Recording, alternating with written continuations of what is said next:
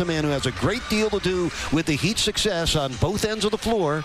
Bam Adebayo, thanks for standing by, joining us in the winner's circle. Good to see you where you are right now. Still chasing the Brooklyn Nets tonight. A very important bounce back win for you and your team. Man, definitely. Uh, we definitely let yesterday slip away, uh, but you know we had an opportunity today to get it back, and you know we got to start building off of this. You know I said it all year, but we got to actually start buying into it, and uh, we can't come out with slow starts. Bam, you did such a good job, not only scoring the basketball, but some of the other energy areas, the, the rebounding, you set up your teammates with assists, too. Talk about your overall contribution in terms of making these important winning plays.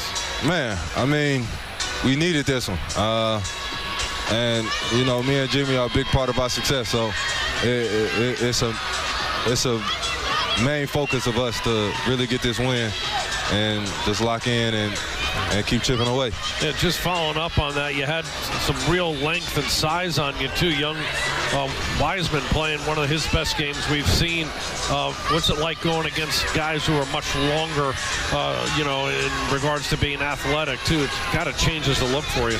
I mean, all my shots I work on are, are because of dudes that are 7'2", dudes that have eight-foot wingspans. Uh, so, I mean, all my shots was just predicated over the summer was just shooting over dudes that are, you know, 7'1", 7'2". Bam, big week ahead. At home, a, a couple of days off, and then you got the Knicks on Wednesday, uh, one game at a time. Then the Nets on Saturday. You're only a game behind Brooklyn.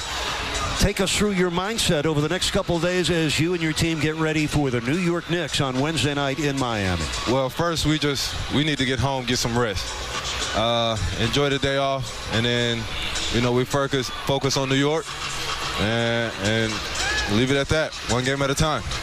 Bam, terrific win tonight. Great performance for you. Your 30th double double of the season, and all the sweeter because it comes in a road win. Yes, sir. All right, Bam Adebayo, you couldn't